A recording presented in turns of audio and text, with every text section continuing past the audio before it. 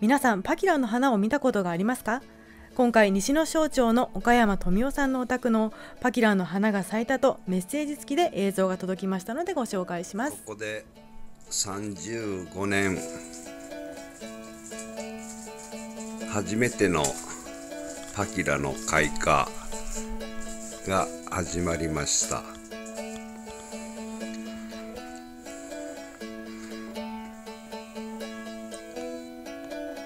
5月30日。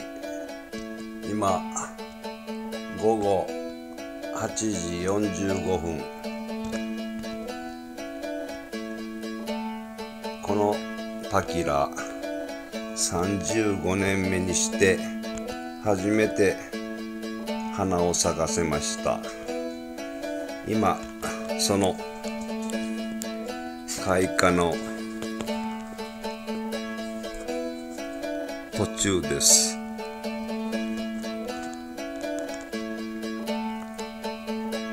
パキラの花は条件が揃わないとめったに咲くことはありません。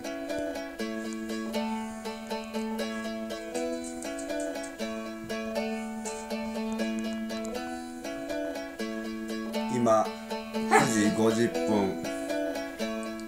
パキラの花が開花しました。これから花びらが大きく開いてもっと綺麗になっていきます。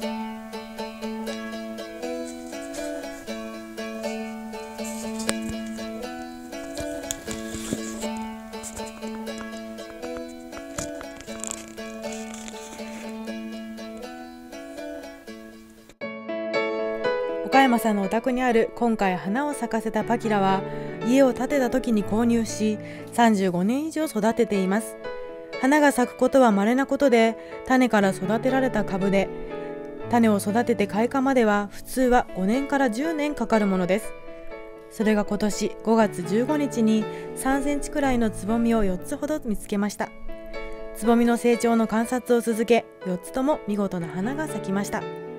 夜に咲いて朝まで楽しめそしてポトッと落ちてしまいます。岡山さんはパキラの花はすごく香りが良くてユリのような甘い香りがします。普段は水やりくらいしかしていませんが今回初めて花が咲いて嬉しかったです。また来年も咲いてくれたら嬉しいですと話をしていました。